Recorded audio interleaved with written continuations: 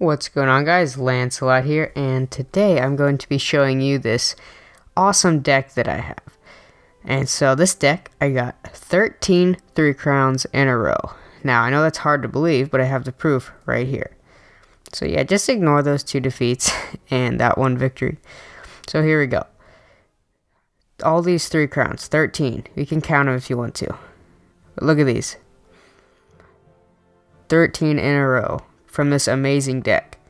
Now, this is in the Lunar New Year Challenge, so I started off um, with the double elixir because this deck is a little bit harder to use when it's not in double elixir. So I recommend uh, only using it in double elixir for that reason. And so you see 13 in a row.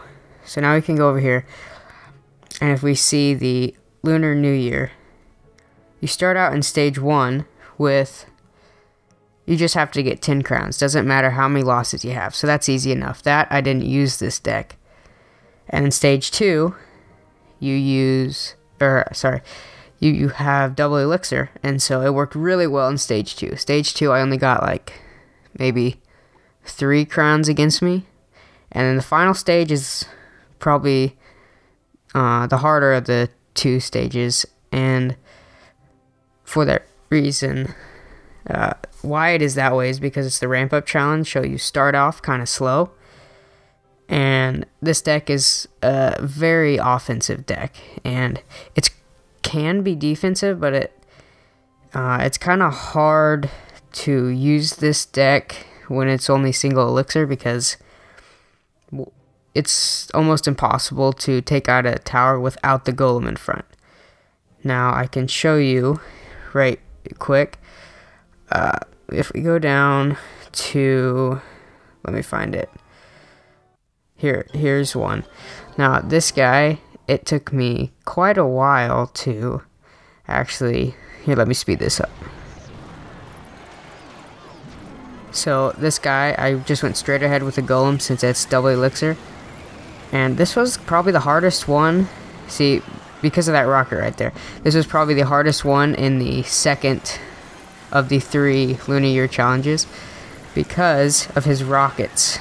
And he had no offense compared to me with the powerhouse that this deck is.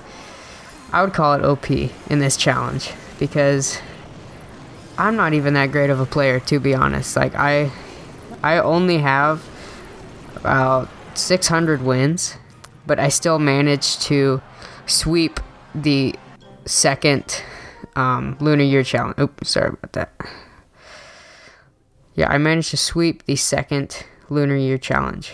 So that's, I think it was six wins, and I swept all of them. So never lost. I only got like a couple crowns scored against me.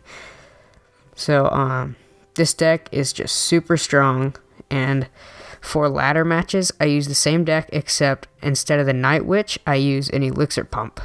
And that's my main deck. It's 4.1 average Elixir, but I would highly recommend it, guys. So thanks for watching. If you enjoyed, then make sure to like the video. If you feel that I deserve it, then make sure to hit that subscribe button for more content just like this.